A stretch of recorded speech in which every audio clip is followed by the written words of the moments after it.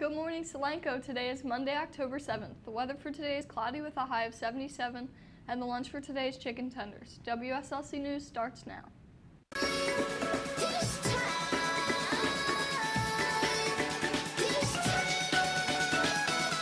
Just a friendly reminder that the Renee's Closet and Dapper Dan's first fashion show of the year is this tomorrow, October 8th.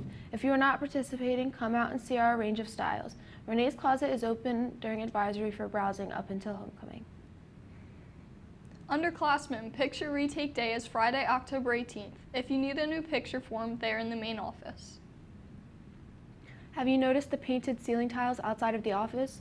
If you have a Renaissance gold or silver card, you too can make your mark on the high school by painting a ceiling tile that will be placed in one of the hallways. Designs must be submitted and approved in advance and the forms can be found outside of Mrs. Richardson's room 110 and Mr. Humphrey's room. Fill out the form, submit it to either Mrs. Richardson or Mr. Humphreys, and sign up for a time to paint. You can either paint during advisory or after school. You will be able to paint your tiles the last week in October and the first week of November. Questions? See Mrs. Richardson. Senior pictures are Thursday, October 10th in the auditorium. If you have not had your picture taken, please see Mrs. Wilson in the main office for your time. Congratulations to the girls spring track team for having the highest GPA for all spring sports. Renaissance and the Solanco High School faculty will hold a breakfast in their honor on Wednesday, October 23rd during first period. Members of the girls track team will receive an invitation to their advisory soon. Well done, ladies.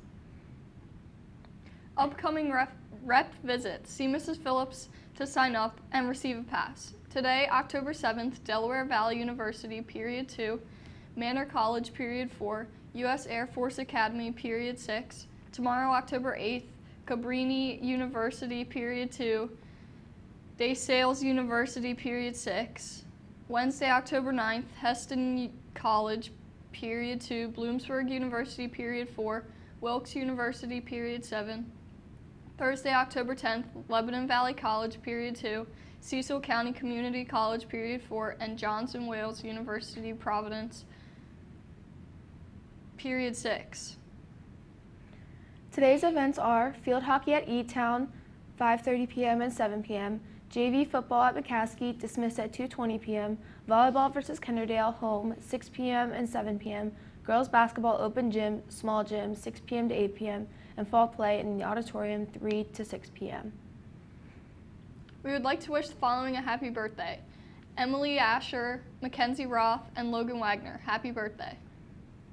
On behalf of the WSLC News team, I'm Kaden Bedwell. Have a happy National Frab, Frabbe Day, Solanco.